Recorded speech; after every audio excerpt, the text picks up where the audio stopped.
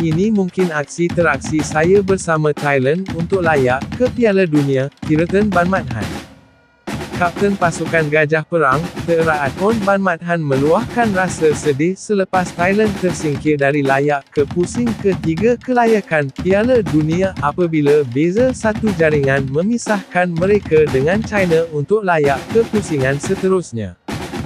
China memiliki kelebihan dari rekod head-to-head yang memberi kelebihan buat mereka layak bersama Korea Selatan melengkapkan 16 pasukan untuk pusingan ketiga. Kiraton yang kini sudah berusia 34 tahun dilihat sudah sampai ke penghujung karya bola sepak kebangsaan menyatakan kemungkinan ini merupakan aksi teraksi mereka dalam usaha membawa Thailand ke Piala Dunia. Saya kecewa dengan diri saya. Saya kecewa dengan keputusan perlawanan. Saya memohon maaf kepada semua penyokong Thailand.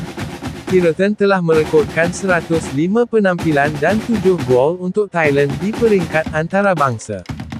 Thailand menutup kempen kumpulan C kelayakan Piala Dunia 2026 dengan 8 mata daripada 6 perlawanan. Jika anda suka info-info yang diberikan dalam channel ini, bantu saya dengan menekan butang subscribe dan butang loceng untuk mendapat notifikasi terbaru dalam channel ini. Assalamualaikum, terima kasih, jumpa lagi.